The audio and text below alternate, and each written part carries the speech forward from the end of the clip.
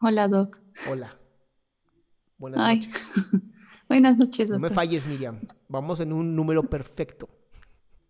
Ay, ay, es que, bueno, estoy un poco nerviosa, la verdad. Este, ahí hice unas, algunas anotaciones acerca de, de, mis preguntas, pero espero no, no revolverme y no revolverlo. No te preocupes. Bueno, eh, lo que pasa es que, eh, por ejemplo, bueno, yo llevo desde hace dos años, más o menos dos años, bueno, exactamente sí, dos años, tres meses, eh, tratándome con, con, una doctora, una psiquiatra. Okay. Eh, llevo ya más o menos este, un, tres años y medio eh, que he consultado, bueno, he estado en terapia, Ajá, ya he pasado por eh, cinco, sí, cinco psicólogos, ah, porque sí, sí, cinco psicólogos. Y pues todo se detonó desde hace cuatro años atrás, a la fecha, ¿sí? Uh -huh. Entonces, bueno, de ahí eh, caigo a un trastorno depresivo. Este, y ahorita, bueno, después de cuatro años y de medicación y de, de tratamiento psicológico, uh -huh. eh, ahorita, pues la verdad es que tengo algunas dudas en relación a a lo que pues estoy haciendo. En, en, trabajar más que nada, yo pienso que es el, el autoestima y el merecimiento, porque pues he tenido, por ejemplo, pro, pro, problemas de enfoque y problemas de motivación.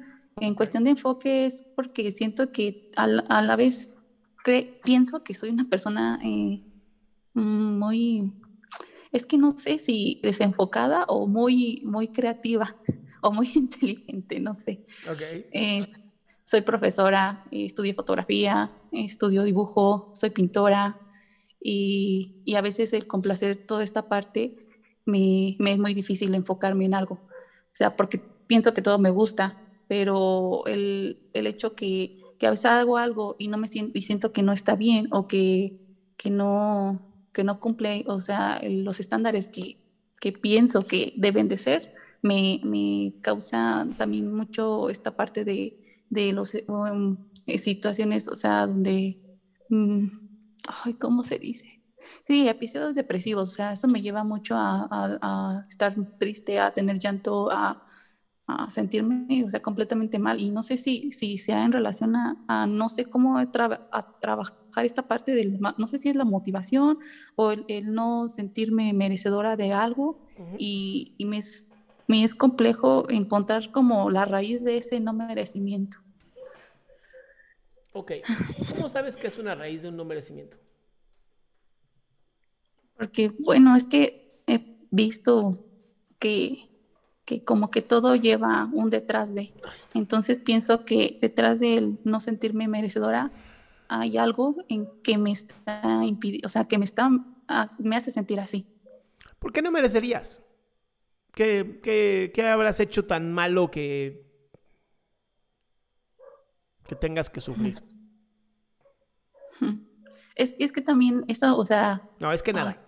Es que nada. Me siento, me siento así, súper perdida en eso. Por eso, es que eh, nada. ¿Qué crees tú que hayas hecho tan malo o de qué te sientes tan culpable que no, no merezcas? Pues es que otra vez el es que dijiste, no. dijiste, soy, soy fotógrafa, soy artista, o sea, tienes un montón de cosas positivas. Sí. ¿Sientes que tienes más talento que los demás? Mm, pienso que, que sí. Bien. O sea, sí. A ver, no, no te estoy juzgando, flaca. El hecho de tener más talento que los demás es porque así viniste de fábrica, viniste chingona. ¿Va? Ajá. El no aprovecharlo por sentirte culpable es lo que te está destruyendo. Sí. Entonces, si tú te dieras el permiso de decir, soy la mejor fotógrafa o la mejor artista plástica o lo que quieras, si te dieras ese permiso, ¿qué pasaría? Mm, pues lograría muchas cosas. Eh, no, o sea, dame una, no muchas. Uh, Ah, no sé. Una. Mm. Oh, es, es, difícil. Con, uh. Algo en lo que podría sobresalir increíblemente bien.